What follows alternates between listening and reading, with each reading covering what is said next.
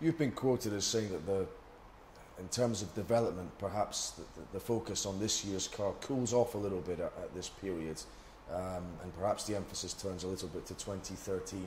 But being in the thick of, of the constructors and, and, drivers' championships, I suppose, at the moment, mm. um, might this be a year when perhaps the focus remains on the E20?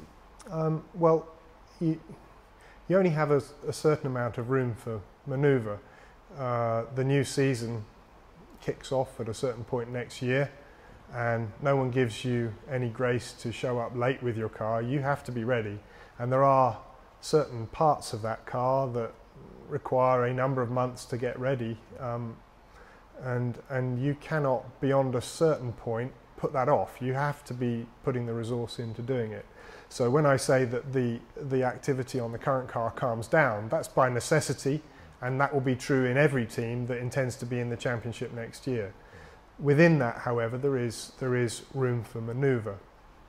And I think one of the things that our team has got a little bit wrong in the last couple of seasons is that we have put uh, we've been too ready to put all to switch over to the new car a little bit too soon. Um, so we, we started this year consciously, int consciously intending to uh, develop this one a bit longer than normal. Now, that's only a phasing issue really. What we decided to do was to push a little bit harder with next year's car in the first half of the season. So we've already ploughed effort into next year's car at a greater level than we have done in previous seasons.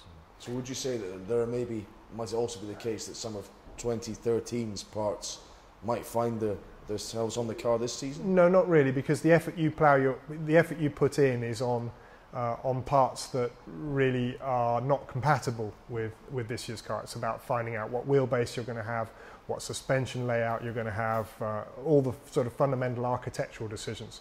But we've paid the price for that already. We've already made that investment. Any impact that had on our development program has already been accounted for in what we've achieved so far this year. And then what it's done by putting a little bit more effort in up front, it means it buys us a bit of freedom after the break to keep developing this car for a bit longer. So we haven't put any less into next year, we've just changed it around a bit. Um, but given that the development we've done so far this year seems to have kept pace with the others during a period where we've been putting a bit more emphasis on next year, it gives me a good feeling about uh, the second half of the season.